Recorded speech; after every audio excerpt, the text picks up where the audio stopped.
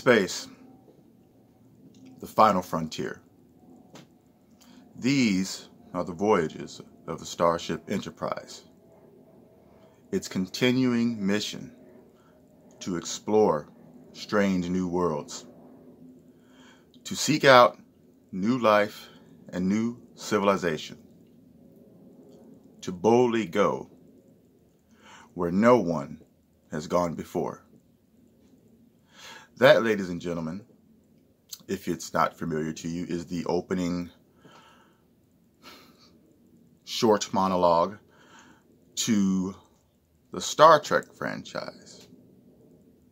You can't find it on that piece of crap they're calling Star Trek nowadays, but I also want to point out that when the show originally premiered in the 60s, it said at the end where no man has gone before. But by the time in the uh, early 90s, when the Star Trek The Next Generation came out, they switched it to where no one has gone before. Why? Because it wanted to include women. So it was woke before woke was annoying. Good morning, everybody. I'm Cliff London, and this is my channel, Cliff London Uncensored. Today, what I want to talk about is why Star Trek Discovery is uh, a completely worthless, crappy ass piece of shit show that should not be called Star Trek. It should be more called like uh, insert whatever teen drama in space. You know, in my time, it would have been 90210 in space. Coffee here. I'm going to put it in a nutshell, and I'm going to tell you why Discovery sucks here, and I'm going to try not to make the uh, video go long here. And this video is directed towards a certain sect of you. Basically, anybody that watches Star Trek and loves Star Trek and understands Star Trek. But I'm going to go with it here. Uh, Star Trek Discovery is a pretty awful show, and I'm going to tell you why it's not Star Trek. Here we go. Gene Roddenberry wanted to, his vision of Star Trek was to present humanity after interstellar travel, after the discovery of uh, other intelligent life. The show takes place way beyond our time which would mean a lot of the social ills and the social stigmas and things like police brutality, uh, discrimination for the, over food, water, and resources. All those things uh, are things of the past because science has solved those problems. So science has solved those problems because you don't have, like I said, you know, you don't have people vying for resources on Earth anymore. You don't have like police brutality, and you know, in the future because you can't, you don't need to be brutal. If you just have set phasers to stun, you stun them and they go to trial. I, am not even sure if they even put people to death. Uh, I, that's one thing that I don't know about Star Trek. I don't know if they believed in death penalty. These things never came up. Why? Not really, anyway. They never came up because I mean they came up in the show in similar ways, but they didn't come up uh, as a direct replica of what we are doing in our society today, if that makes sense. But back to the point, Gene Roddenberry had a vision of humanity at its best. Or for us watching at home, something to strive for. Humanity had become united because once you discover people with blue skin and other aliens, you can travel to other worlds. Pretty much our little 4% difference in skin color, we will be united as human beings because we will realize we are not alone racism and discrimination in itself is kind of uh, selfish on everybody's parts because it just assumes that, you know, we just look for something that's different. You know, it's something that's in people's DNA, but that's another video. But um, Gene Roddenberry's vision was a world where, first of all, the damn show is called Star Trek. You are trekking through the stars, seeing out new life and new civilizations. So we got Gene Roddenberry with his, you know, better vision of humanity. Humanity has gotten beyond its social constructs and ills and racism and things like that. Now, you do see in the show where it does deal with it, but it's not nearly in the same way as a shitty ass Discovery deals with. Uh, I would say it's put a lot more tastefully, and the emphasis is not on it. Why? Because it's called Star Trek, not Star Stay at home and whine about identity politics and who's fucking who, which is what this crap discovery is. So we have Gene Roddenberry's vision of Earthlings finally being united as humanity. We can travel all over the universe, and when you can do that, ladies and gentlemen. you know, I would think that once the world expands, uh, humanity would expand. Once you become smarter, once you become united, these things fall away. So when you have these idiots online talking about that the Federation were isolationist and how come the show never how come the old show never spoke about what happened on what the racism going on on earth? It's like well idiot because in that show it's not 220 you know in those shows it wasn't 2021 and nor should it ever be 2021 it should be way beyond that and the show is escapist entertainment. It's supposed to take you out of that. Now, in Star Trek, the real Star Trek not only took you out of your day to day slumber, because let's face it, life's pretty rough out there, you know, but it presented you with something of hope. You came away from the show feeling good because it was usually a positive solution. But what we have with Discovery, basically, they don't care about storytelling. They spend most of the show, well, they spend most of the show emasculating and tearing down the legacy of these old characters, which is so rooted in hatred. Because Picard, it wasn't like he was a white supremacist, but they, in, but in that Picard show, they still had to reduce him to a sniveling old, feeble old man. But yet, this man was a hero to the Federation. Because see, these woke people that think they're not racist, they actually are because they were so consumed with hate that they were willing to let Patrick Stewart, he's kind of, I mean, I would love and respect him, but the man is old and probably just was thinking, I'll do Picard again. I wonder if the man of, of his talent and caliber actually read that script and was cool with how they emasculated the man.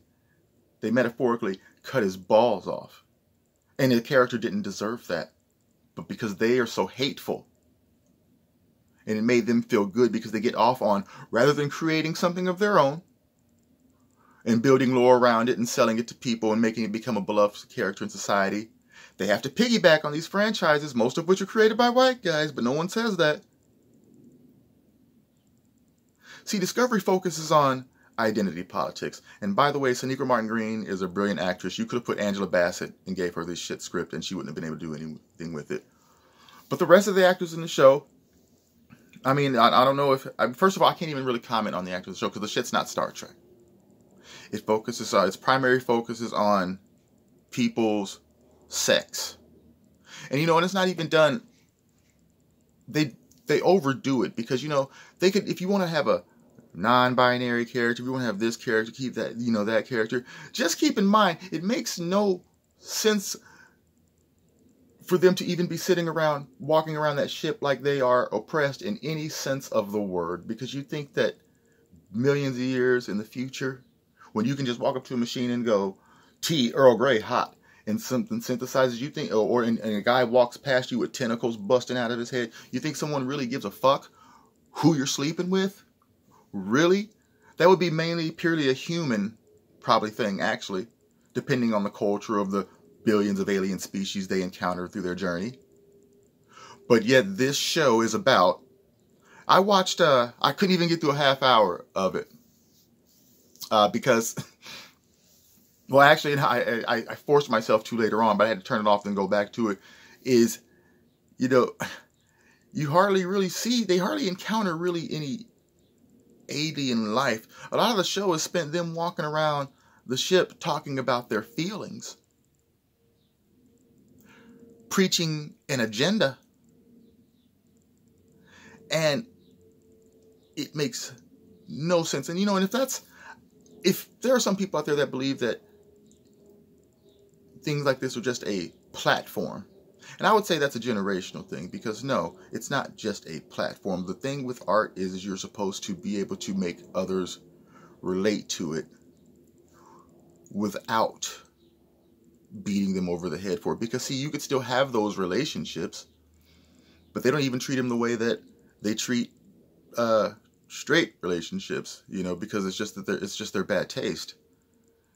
See, it's not. I, I don't. The relationships and things like that. I, it's not that that I mind. But like for example, in a regular plot twist, you know, the immediate whole plot of the show, kind of everyone's involved in making that happen, and then their personal lives are uh, kind of intertwined, almost side notes. So who they're sleeping with and stuff, you know, but it's kind of like okay, that's when they do those. You know, they have episodes for that and they have time for that, but it's not the main emphasis.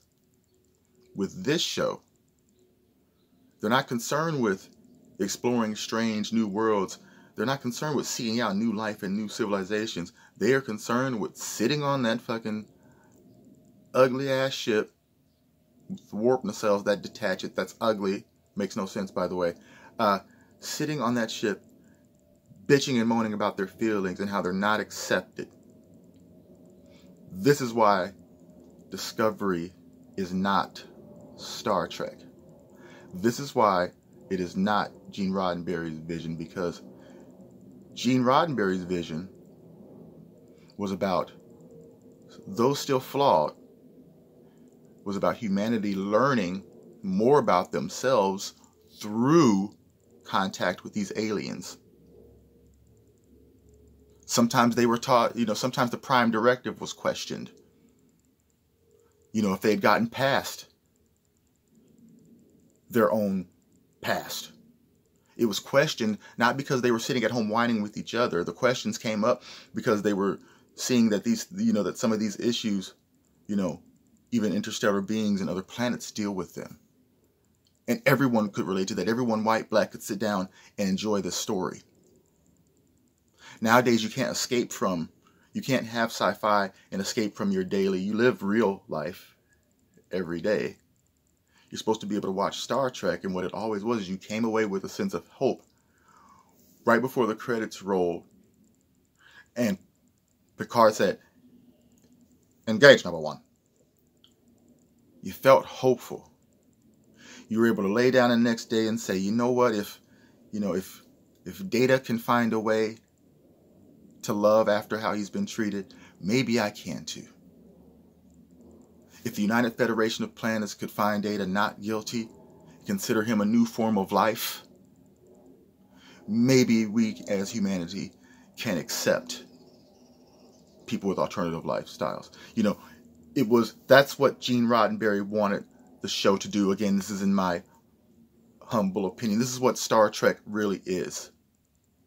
You know, and you have these people out there that say things like, oh, well, you know, not everything is uh, solved with a photon torpedo. You can tell those people are full of shit and they're probably trying to be some feminist to cuck for women because the show has never been about photon torpedoes. In fact, they hardly get into space battles at all. It's mostly interpersonal things that happen down on the planets.